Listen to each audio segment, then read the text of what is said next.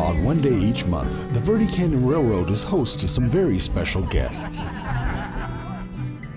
This is Sonora and her crew from Liberty Wildlife.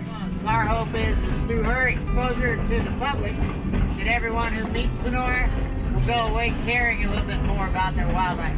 Sonora was injured in the wild and can't be re released, so she's become an educational ambassador for Liberty Wildlife and the only bald eagle in the world to regularly enjoy a train ride.